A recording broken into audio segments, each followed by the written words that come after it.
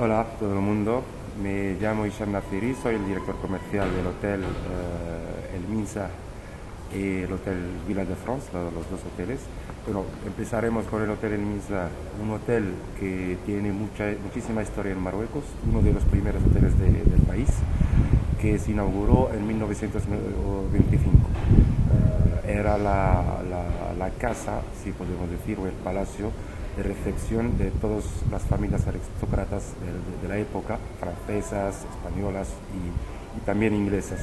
Y luego, después de, en tiempos de, la guerra, de la Segunda Guerra Mundial, era el lucro, o si podemos decir, el lugar donde se reunían, se reunían todos los espías y si se hacía política dentro del hotel. Con los, que aquí todas las habitaciones, cada rincón de este hotel. Cada rincón estaba ocupado con, con que, que, trataban con espías alemanes a la época que venían aquí eh,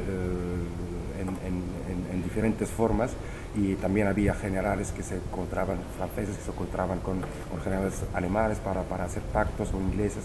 Bueno, era, un, era el único lugar donde había, como era Tánger en esa época, era una zona internacional, eh, considerada como zona internacional, todo el mundo se alojaba aquí y era el único hotel.